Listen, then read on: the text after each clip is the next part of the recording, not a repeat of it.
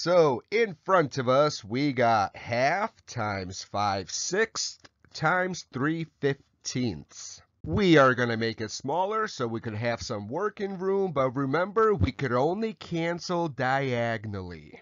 We cannot cancel horizontally or vertically, up or down. So we could reduce a 3 and a 6. And if we reduce 3 6, it's going to be 1 half. So we cross out the 3, put a 1, cross out the 6, and put a 2.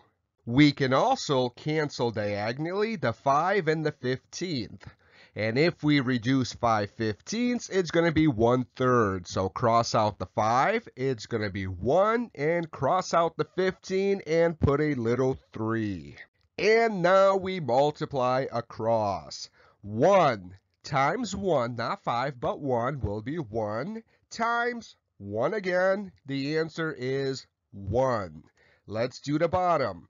2 times 2 is 4 times 3 equals 12. 1 12th is the answer. So here we have one third times 1 half times 3 fifths. And the only numbers we could cancel diagonally is 3 and 3.